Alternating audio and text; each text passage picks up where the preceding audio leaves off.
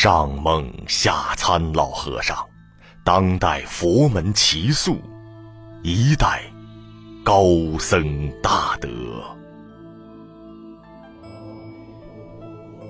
公元一九一五年七月十三日，农历乙卯年六月初二，梦参老和尚诞生于中国黑龙江省开通县，今天的吉林省白城地区，俗姓刘，名瑞廷。一九二八年，加入东北讲武堂军校。九一八事变后，跟随东北讲武堂退至北京。一九三一年，长老梦见自己坠入大海，被一位老者救离困境，并向他指示前往一栋宫殿般的地方，说是他一生的归宿。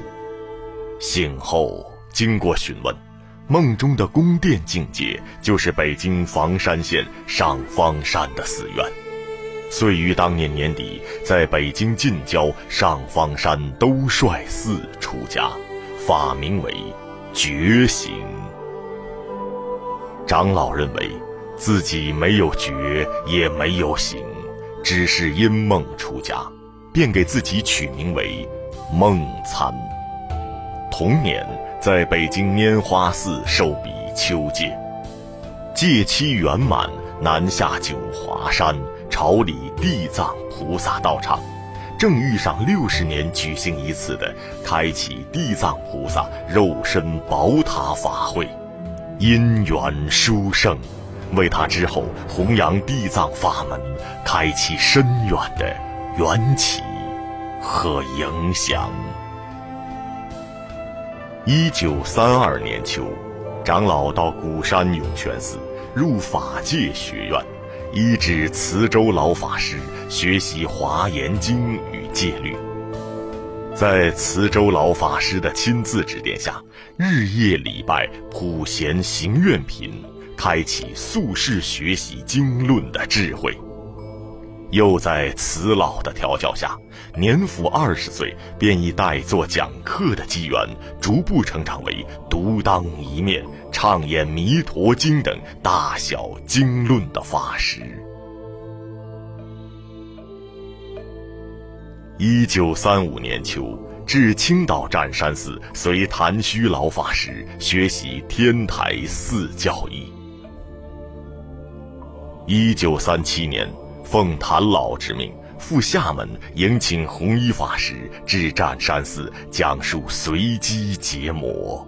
护持洪老生活起居半年，弘一法师亲赠手书的净行品，并嘱托他弘扬地藏三经。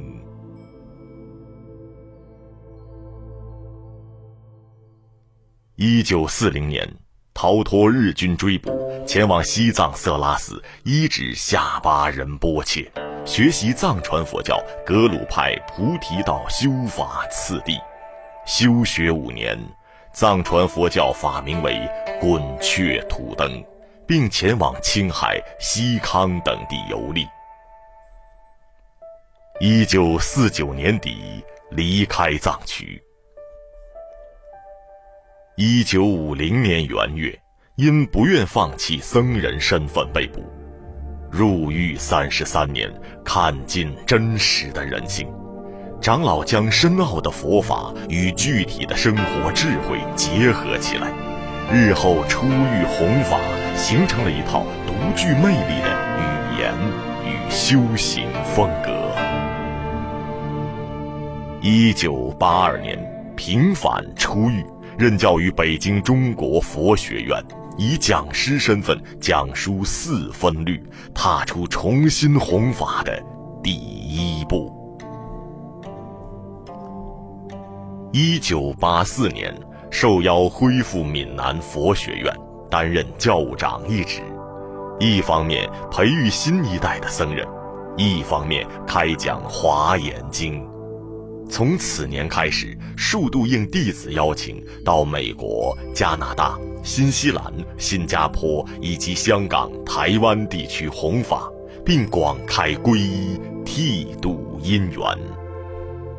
长老受通愿法师嘱托，鼎力业助他的弟子兴建女众戒律道场，同时顺利恢复雁荡山能仁寺。二零零二年时，长老应邀常驻五台山普寿寺讲经，并指导圣宝山愿成寺的僧众静修。二零零三至二零零七年。长老克服身心环境的障碍，在普寿寺讲完《大方广佛华严经》八十卷，共五百余座，了却多年来未曾圆满的心愿。期间，又应各地皈依弟子请求，陆续开讲《大乘大集》《地藏十轮经》《法华经》《楞严经》等大乘经论。二零零八年一月，再次应台湾地区弟子祈请赴台弘法讲经，开始十余场，并举办千人大法会。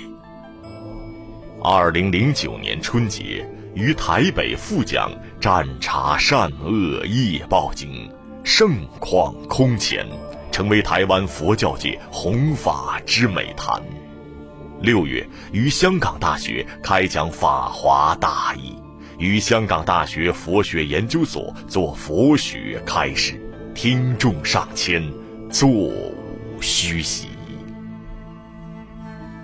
二零一二年，应五台山政府邀请，复建万佛洞真容寺，命弟子龙明主持复建具体事宜。二零一三年时。定居万佛洞真容寺觉林仗室静修，除非身体违和等特殊情形，还是维持长久以来定时定量的个人日课。虽垂暮之年，仍不惜老病之躯，现身说法，俨然为深山中的一盏明灯，中国佛教界的当代龙象。